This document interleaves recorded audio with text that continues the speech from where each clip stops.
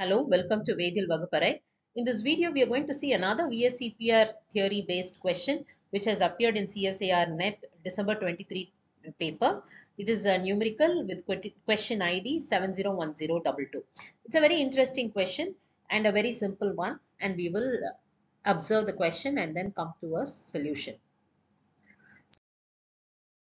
So according to VSEPR theory, the geometries of FCLO and F5IO respectively are. So there are two compounds that are given and then we are asked to find the geometries.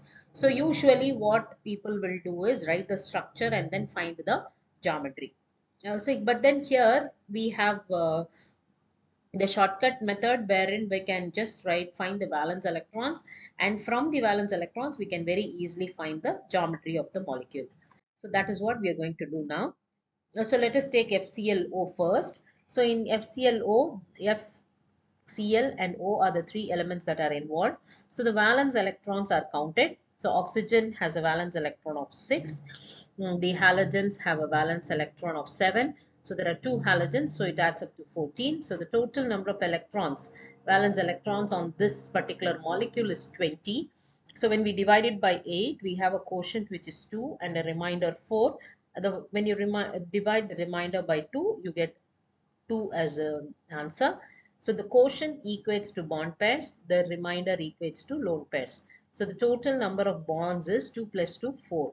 So when a molecule has an adds up to uh, to 4 as the number of bonds, then it uh, uh, is of the type AX4 type. So if it is AX4, the geometry of the molecule is tetrahedral. Similarly, for F5IO, we have taken the valence electron count and it adds up to 48. And you divide it by 8, you get only a quotient and a 0 as a reminder. So the total number of bonds for this particular molecule is 6. So it is of the type AX6 type. And so the parent geometry is octahedral. So uh, both these molecules, we have found the geometry. The question is asking us only about geometry. So by using this shortcut method, we can very easily find the answer without even knowing which among the following is the central atom. Because in VSEPR theory, we must know the element which is more electropositive will be the central atom and then it will be surrounded by electronegative elements. So when you're talking about the electronegativity of the halogens, we know fluorine is the most electronegative element and uh, followed by the other elements in, uh, in the periodic table. So in this particular case, we have fluorine, chlorine, iodine and then oxygen. So when we compare the electronegativities of fluorine, chlorine, iodine and oxygen, we see that fluorine is the most highly electronegative element. So fluorine cannot be the central atom. So when, when in this case in FCLO, we see chlorine has an electronegativity of 3.6 whereas oxygen has an electronegativity of 3.44. So chlorine is the least electronegative. So chlorine will be the central atom in this particular case. Uh, so the molecule will have a bond like this. So the low, lone pair of electrons is on the central atom that we are talking about. So the bonding is bent, that is the shape is bent, but the parent geometry is tetrahedral.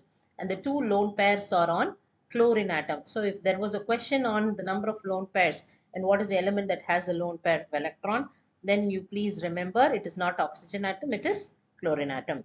So now coming to the next case. So here again you see between uh, fluorine, iodine and oxygen. We see we know fluorine is ruled out. So between iodine and oxygen, the electronegativity of iodine is 2.66 whereas oxygen is 3.4. So obviously iodine will be the central atom. So because iodine is the central atom, we have the fluorine surrounding it. So this is the uh, structure of uh, FiIO4 and actually in this case iodine is the central atom. So the geometry is octahedral. So if you're asked which among these is central atom, we must remember the most electropositive or the least electronegative element will be the central atom. So in this particular question, we have found that The geometry of these two molecules is tetrahedral and octahedral. Thank you. Kindly like and subscribe to our videos. Uh, you will uh, have a lot more videos coming up based on the UGC CSIR uh, December 2023 question paper. Thank you.